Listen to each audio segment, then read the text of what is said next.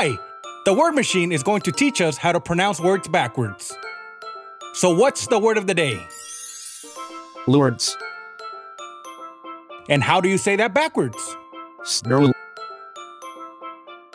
One more time. Let's pay close attention. Snurl. Now you try it. Great job! Make sure you practice and don't forget to give us a thumbs up.